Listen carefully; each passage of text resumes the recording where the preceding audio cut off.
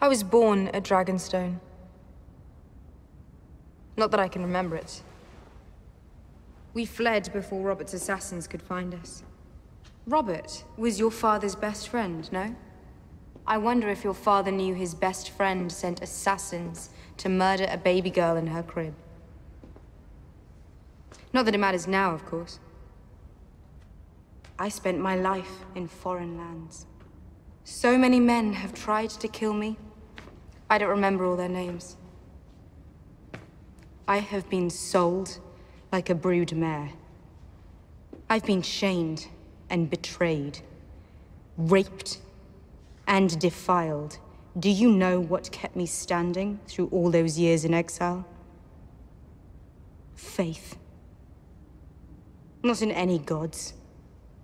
Not in myths and legends. In myself. In Daenerys Targaryen. The world hadn't seen a dragon in centuries until my children were born.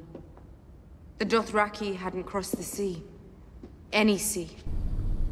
They did for me. I was born to rule the Seven Kingdoms.